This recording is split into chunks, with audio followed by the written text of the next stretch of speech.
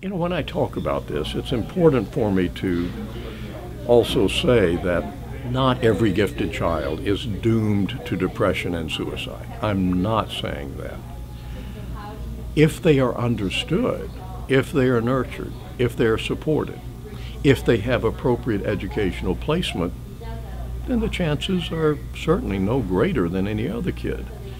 But what we discovered and came to really appreciate is how often these children are not understood, how often they are in classrooms where one fourth to one half of the time they're spending their time waiting for others to catch up.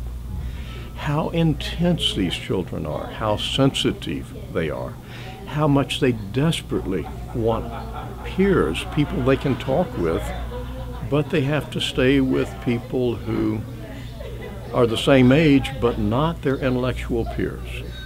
And it's those kinds of factors then that that make them more likely to feel stress, to feel depression, to feel alone, alienated, and indeed sometimes commit suicide.